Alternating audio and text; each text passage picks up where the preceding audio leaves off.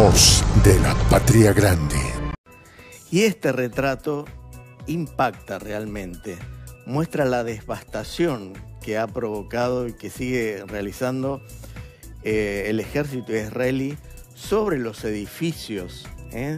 de barrios residenciales, en este caso en el oeste de Khan Yunis. Bueno, hay denuncias, inclusive de la propia Naciones Unidas, que dice que eh, adrede el ejército israelí está barriendo con estos edificios para hacer una zona segura de aproximadamente un kilómetro entre la franja de Gaza y territorio israelí.